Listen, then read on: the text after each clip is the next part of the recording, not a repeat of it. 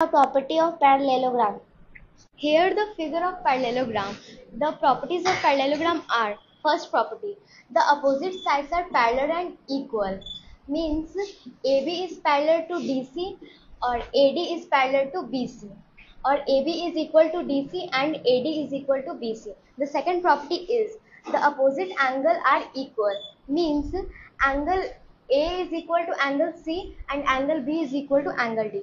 The third property is the consecutive or adjacent angles are supplementary. Means the sum of angle A and angle B is equal to 180 degree and the sum of angle B and angle C is equal to 180 degree. Fourth property, the two diagonal, the first diagonal is AC and the another diagonal is BD. AC bisect BD and AO is is equal to OC यानी AO is equal to OC, BO is equal to OD.